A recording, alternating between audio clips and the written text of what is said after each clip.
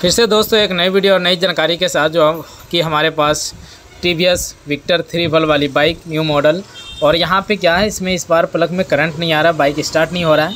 तो फाइनली इसे चेक करने के लिए हमें कैसे चेक करना होगा? ये बाइक तकरीबन दो महीना से रखा हुआ था, और यहाँ पे यानी कि जब ये निकाला बाइक को तो करंट ही नहीं आ रहा है। अब हमें यहाँ पे ये चीज़ देखना है, तार वगैरह चूहा काटा है या और भी क्या दिक्कत है? तो सबसे पहले दोस्तों, जो करंट चेक करने का तरीका है, वो बैटरी कि आप वायर खोलें, जिसमें करंट आता है, प्लस वाला वायर, और यहाँ पे एक वायर लेके हमें बॉडी से टच करके देखना है, किक लगा के कि हमारी करंट आ रहा है या नहीं आ रहा है यहाँ पे। तो यहाँ पे कोई भी स्पार्क नहीं कर रहा ज़रा सा भी स्पार्क नहीं हो रहा है यहाँ पे। तो फाइनली अब हमें क्या करना है, यहाँ से देखना है।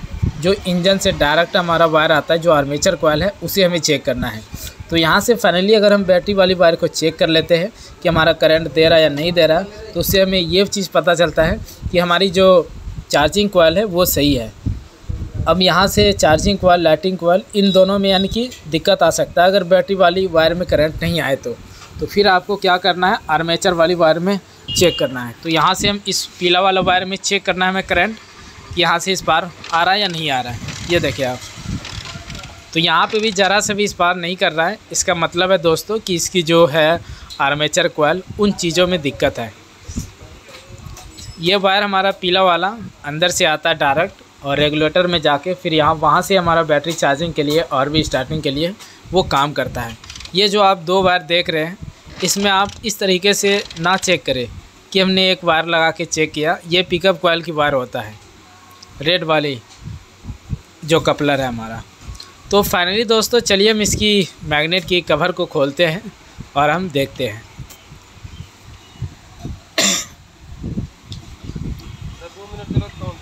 मुझे पूरा शक लग रहा है कि इसकी जो आर्मेचर कोयल है, उन चीज़ों में दिक्कत है। यहाँ से मैं लगा के आपको एक बार उधर से दिखा देता हूँ। फिर आप थोड़े दिल में हमें ये चीज़ होता है कि पता नहीं ये फेक वीडियो हो सकता है। पर यहाँ से हम लगा के, चलिए हम किक लगा के दिखाते हैं आपको।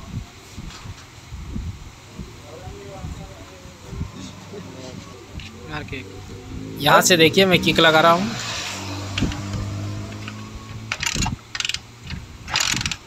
ये देखिए, ज़रा सा करंट नहीं आ रहा है।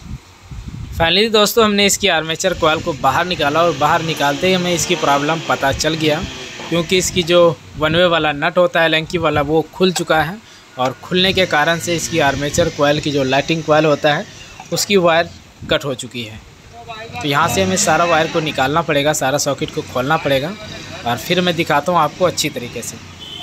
ये देखिए आप, सारा यानी कि ऐसी की तैसी हो गया इसकी। एक नट खुलने के कारण से दोस्तों इसका पूरा आर्मेचर कोयल ख़राब हो चुका है। यहाँ पे देखें नट, ये सेल्फ वन वे के लिए नट होता है। और ये अक्सर हमारी बाइक अगर न्यू होता है, चालीस पचास हज़ार चलने के बाद ये नट हमारा खुल जाता है, लूज हो जाता है। तो अगर आपके पास ये बाइक है या टी की स्टार सिटी प्लस बाइक हो या विक्टर बाइक हो, अगर इतनी किलोमीटर चल चुकी है तो आपको चाहिए कि हमारे मैग्नेट तरफ़ से खुलवा के इसकी नट को चेक करा लेना चाहिए और मैकेनिक भाई को भी चाहिए कि इस नट को हमें बराबर चेक करना है।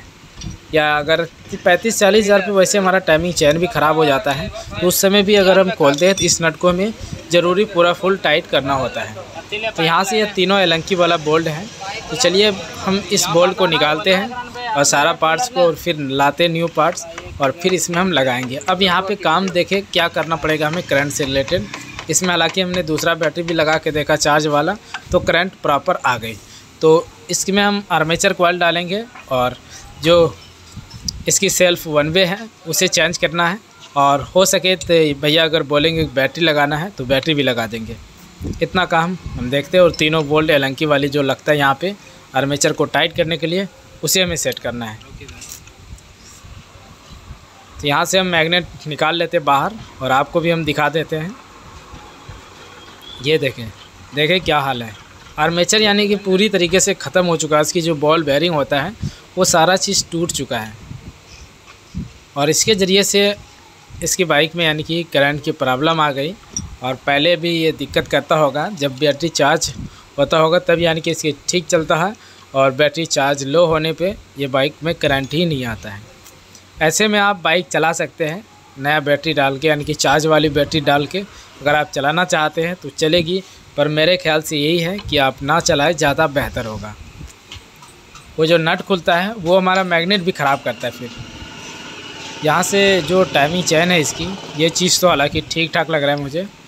टाइमिंग चैन हम चेंज नहीं करेंगे। चलिए, इधर से हम दो तीन पार्ट्स को चेंज करते हैं। देखिए दोस्तों आर्मेचर कोयल जो है, वो यानी कि पूरा नहीं कटा है। दो चार सॉकेट ऐसे हैं, जो कि वो कट चुके हैं। तो यहाँ पे हमने नया कोयल लेके आया है इसका। ये देखिए, बोतल, ये आर्मेचर कोयल बिल्कुल सेम उसी तरीके से आपको मिला के लेना है।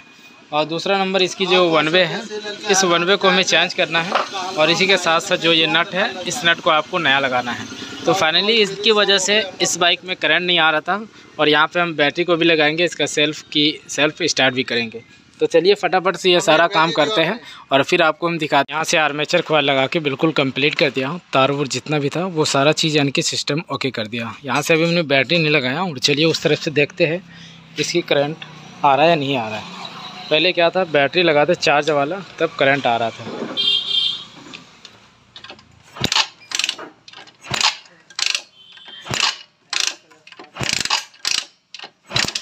तो फाइनली इसमें करंट आ चुका है। अब हमें क्या करना है? बैटरी वगैरह लगा के इंजन ऑयल डाल के इसे स्टार्ट करते हैं।